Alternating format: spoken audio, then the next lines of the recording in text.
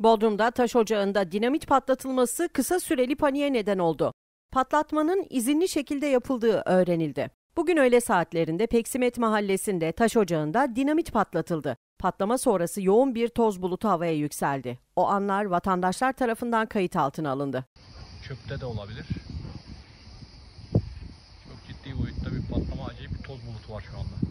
Patlama Peksimet, Dereköy, Turgut Reis ve Gümüşlük bölgelerinden hissedildi. Vatandaşlar ne olup bittiğini anlamaya çalıştı. Patlama sonrası havaya yükselen toz bulutu bir süre sonra dağıldı. Patlatmanın yetkililerin bilgisi dahilinde yapıldığı öğrenildi.